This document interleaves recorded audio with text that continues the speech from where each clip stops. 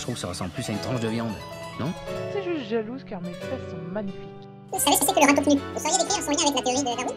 Et je suis un crime contre la nation, et je suis raciste, et je suis nazi. Moi je suis complètement idiot, moi je suis complètement ridicule.